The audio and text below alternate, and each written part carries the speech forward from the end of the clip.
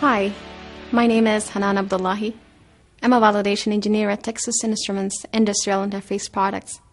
Today I'll be discussing common mode transient immunity or CMTI of isolation devices. I'll also demonstrate our test procedure using our high performance ISO 78XX reinforced digital isolator. CMTI is a very important specification for an isolator. Minimum and typical CMTI values are specified in our datasheets. Common mode transient events can cause error during data transmission across the isolation barrier. They can arise from a number of sources, such as motor drives and fast switching nodes. CMTI measures the maximum common mode transient that can be tolerated while maintaining data integrity. It is commonly measured in kilovolts per microsecond. At Texas Instruments, we measure CMTI using a high voltage pulse generator that's able to generate fast transients. This block diagram shows our test setup. In order to isolate the input side of the isolator from the earth ground, a battery is used to power VCC1. The output side VCC2 is powered by a power supply. The high voltage transient pulse is applied to input ground 1 and is referenced to output ground 2.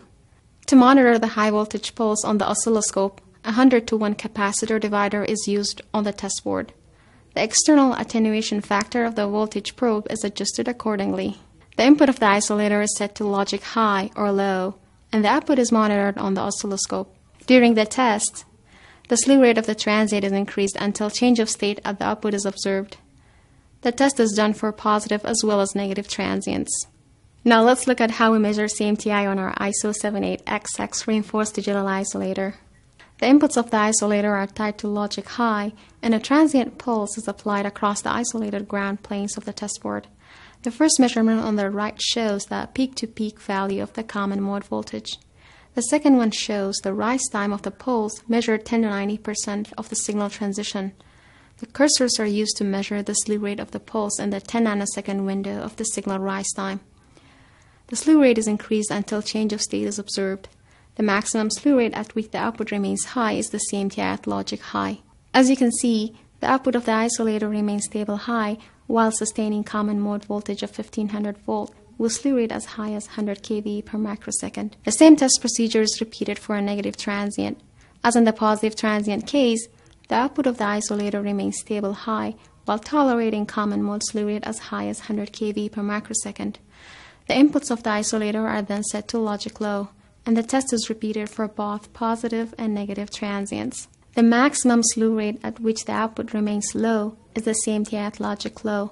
As you can see, the CMTI for positive common mode transient is 100 kV per microsecond. For negative transient, CMTI at logic low is also 100 kV per microsecond. As you have seen, the isolator is immune to common mode voltage of 1500 volt with slew rate as high as 100 kV per microsecond. To guarantee our CMTI performance, we carry out the test over process, operating voltage, and temperature. In this video, I discussed the importance of CMTI and walked you through our test procedure using our high-performance ISO 78XX reinforced digital isolator. Thank you for your time. For more information about Texas Instruments isolation products, visit us at ti.com/iso.